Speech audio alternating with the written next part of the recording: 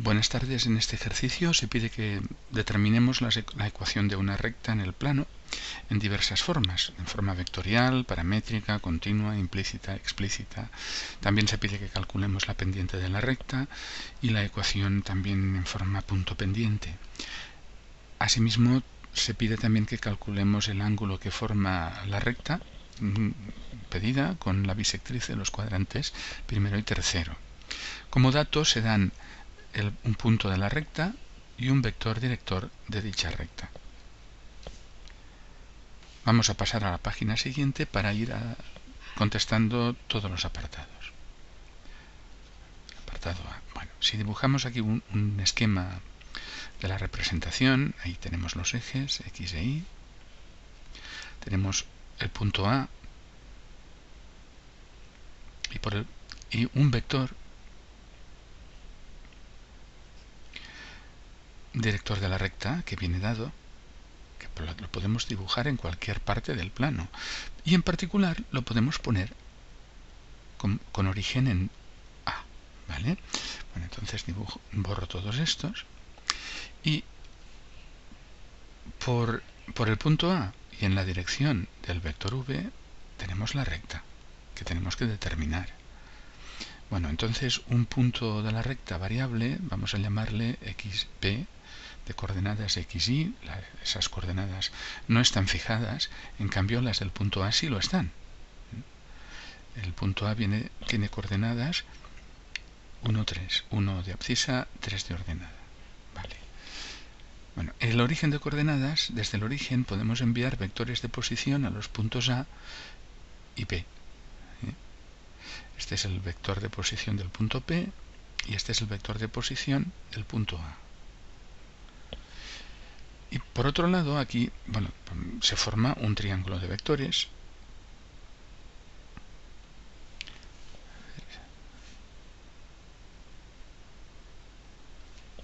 que son el vector de posición del punto A, el vector que va de A a P y el vector que va de O a P.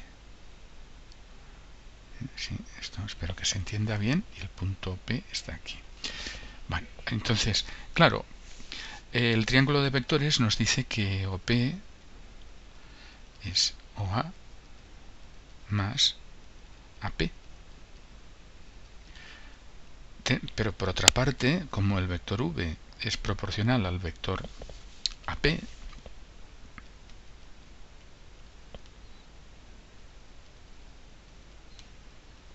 es proporcional al vector V, ¿no?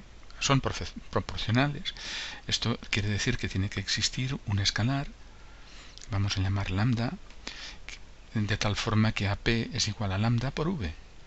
Así que poniendo esta, la expresión del, del vector AP en la expresión 1, vectorial 1, obtenemos la ecuación pedida en forma vectorial. Es lambda veces V. Esta es la ecuación vectorial de la recta la podemos escribir en, coordenadas. Eh, si la escribimos en coordenadas,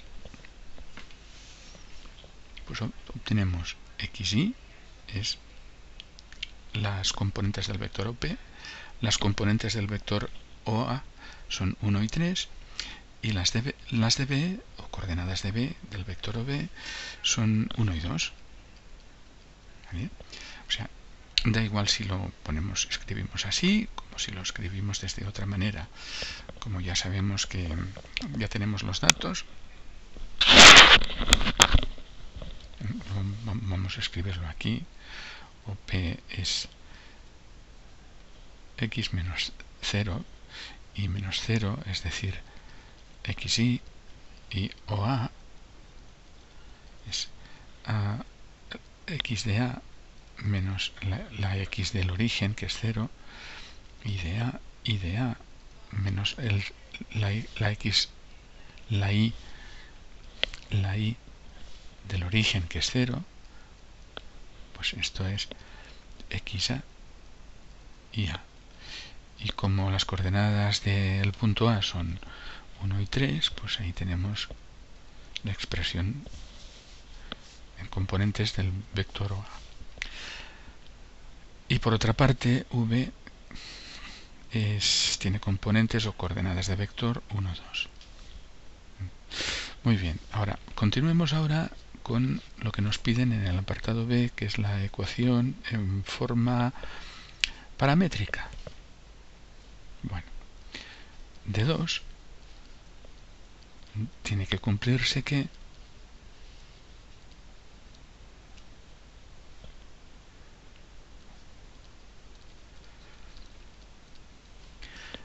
x, que x sea igual a 1 más lambda, es decir, la igualdad entre las primeras componentes, lambda por 1 es lambda, y que y, igualdad entre las segundas componentes, pues sea igual a 3 más 2 lambda.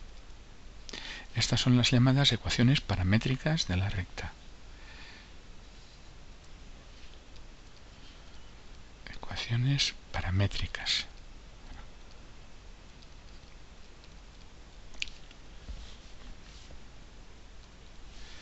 Donde lambda es el parámetro.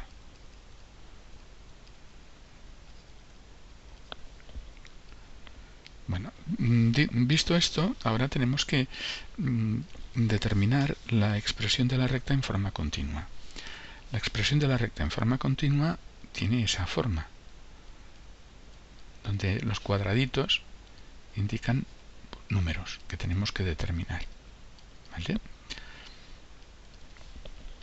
Bien, entonces despejando lambda de la de 3,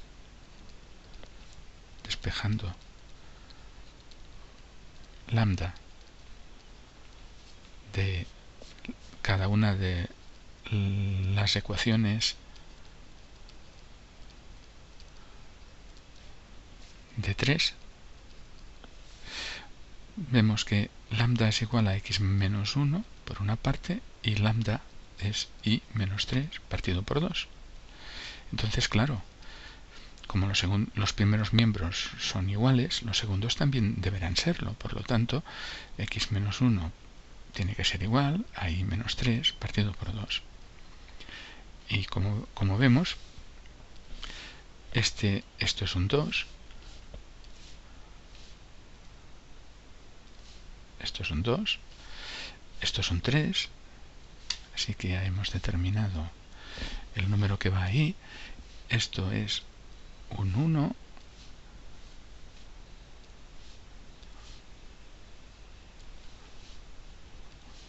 Un 1. Y en el denominador, ¿qué es lo que va? Pues un 1. Eh, aunque no, no haya nada, pues ya entendemos que tiene que ir el neutro. Bueno, pues esta es la ecuación en forma esta es la ecuación en forma continua. Un detalle. Eh, este 2, recordemos que el vector v tiene coordenadas 1 y 2, o componentes si queremos llamarlo así. Bueno, pues el, este 2 corresponde al 2 de la, de la segunda componente del vector director y el 1 corresponde a la primera componente del vector director. ¿Eh? Luego utilizaremos este detallito. Continuamos. Ahora se pide que calculemos la ecuación en forma eh, implícita. Eh, la ecuación en forma implícita se refiere a que de la, de la ecuación de la ecuación que tenemos en forma continua lo reduzcamos a común denominador multiplicando por 2 y lo ponemos y lo pongamos todo en un solo miembro de la igualdad que nos quede. ¿Eh? Reducimos a común denominador. Entonces esto nos, nos va a dar, queda 2 por x menos 1 igual el 2 dividido por 2 es 1 por y menos 3 nos queda 2x menos 2 igual a y menos 3 poniendo como digo todo en un solo miembro 2x menos y más 1 igual a 0. Esto es lo que llamamos ecuación de la recta en forma implícita o general, también podemos llamar la ecuación general de la recta. Esta le vamos a poner 4 y a la, a la que viene a continuación le pondremos 5. 5. Ecuación en forma general o implícita. Continuamos. Ahora nos piden que calculemos la ecuación en forma explícita. Perdón, esto es la de... Sí.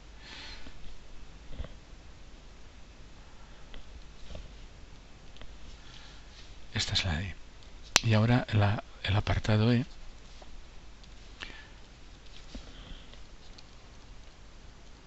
forma o general. Y ahora en el apartado E nos piden la ecuación en forma explícita. Explícita. Bueno, explícita quiere decir que lo que habitualmente consideramos como variable dependiente, la y, la despejemos. ¿eh? Si despejamos la y, tendremos que y es igual a 2x más 1 y esto es lo que se entiende por ecuación en forma explícita. Destacan estos dos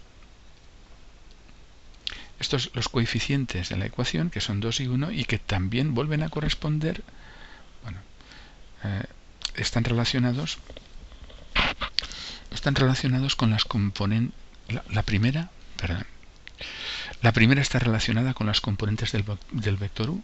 ¿eh? ahora veremos cómo. Recordemos que v del vector v, del vector director, es 1, 2.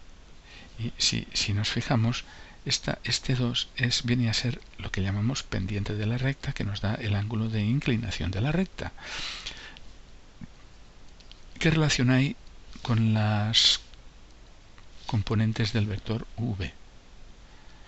Pues fijémonos que se llama habitualmente, se pone habitualmente m a la pendiente. Fijémonos que m es v de la segunda componente de, v partido por la primera componente.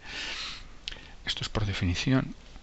Y es igual a 2 partido por 1, claro, que corresponde a la pendiente. ¿Por qué, ¿Por qué esto es así? Bueno, pues si nos vamos a si vamos a dibujar, si dibujamos el vector v, esto es 2, esto es 1, pues la pendiente, la pendiente de la, de la recta es el, el cateto la longitud del cateto vertical partido por la longitud del horizontal es 2 partido por 1, que es 2. Nos da el grado de inclinación de la recta, porque la recta es paralela a este vector. Tiene la misma orientación en el plano. Eso es lo que llamamos pendiente. Bueno, ahora ya tenemos la ecuación explícita de la recta y ahora nos piden precisamente la pendiente. Bueno, ya lo hemos dicho, lo hemos, lo hemos explicado, m es igual a 2.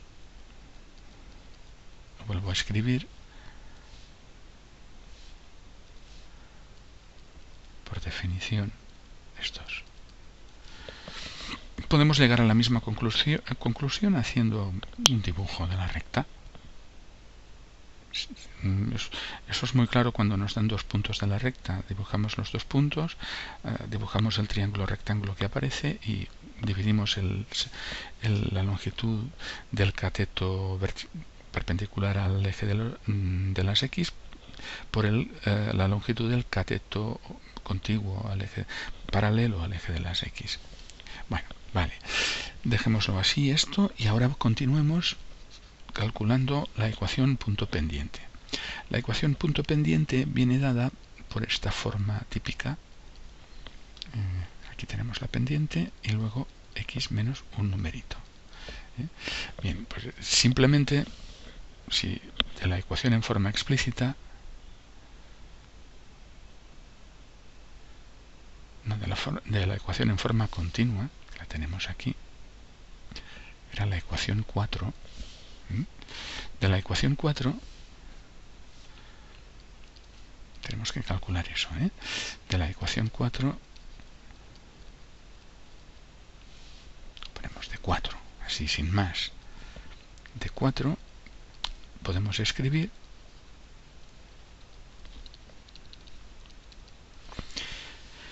que... A ver, lo escribo aquí para que se vea bien, ¿eh? Uy, y menos 3 partido por 2. Despejando y menos 3, este, esto ya se ve que es el 3,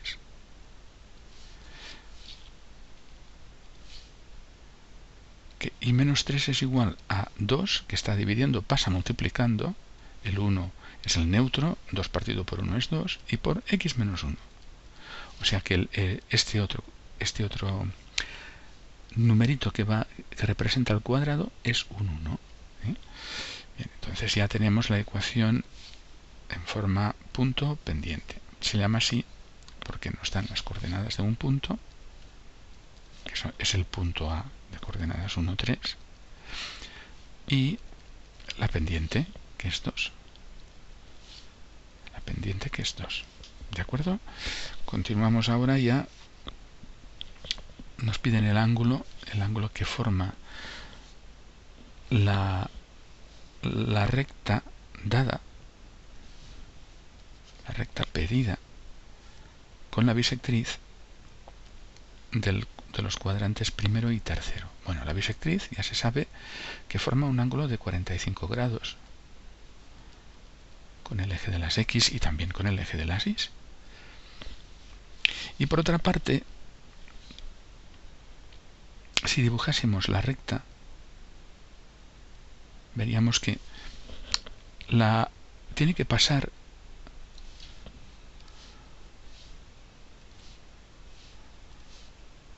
por el punto de coordenadas 0, 1, porque es la ordenada en el origen. Cuando x es 0 y es 1, entonces si dibujamos este punto y dibujamos el vector,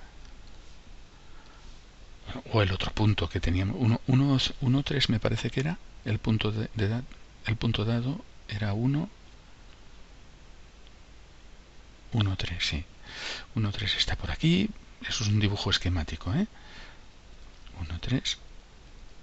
Y si, si unimos estos dos puntos con una regla, tenemos ahí la recta, la recta R que se nos está pidiendo. Bueno, pues entonces lo, que se pide es ese ángulo que forma la entre las dos rectas, entre la bisectriz del primer y tercer cuadrante, bisectriz del primer cuadrante y del tercero también, y la, la recta em, que, la, la recta pedida en el problema. Bueno, entonces ese ángulo vamos a llamarle alfa alfa es igual al ángulo que forma la recta pedida con el eje de las x, que el semieje positivo es el cero de medida angular. Acordémonos de eso. Pues será el ángulo que forma la recta con el semieje o x positivo, ¿no? menos el ángulo de 45 grados. Bueno, pues ahora tenemos que calcular simplemente el ángulo que forma la recta con el, semieje positivo del el semieje positivo de abscisas. Bueno, vamos a ver cuánto es eso. Fijémonos que si dibujamos el vector otra vez, tiene la misma dirección que la de la recta, su componente vertical, su aquí se forma un triángulo donde el cateto vertical es 2 y el cateto horizontal es 1. La, así que la, la tangente de este ángulo, que si queremos lo podemos llamar beta, beta, tangente de beta, es igual al cateto opuesto al ángulo partido por el cateto contiguo, es decir, 2 partido por 1, es 2. Por lo tanto, beta es el arco tangente de 2. Y con ayuda de la calculadora científica, recordemos el tecleo que hay que hacer, es Shift tan a la menos 1 porque está en el color secundario. Y a continuación el paréntesis el 2 con la calculadora científica.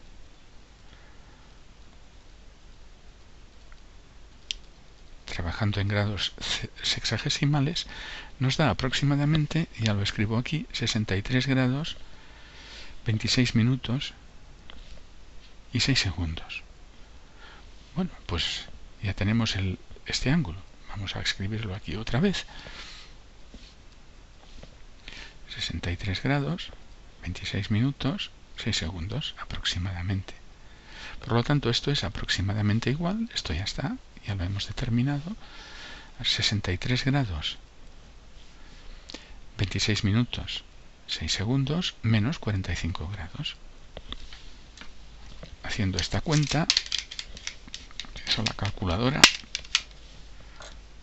63 grados, 26 minutos y 6 segundos, menos 45 grados, son 18 grados,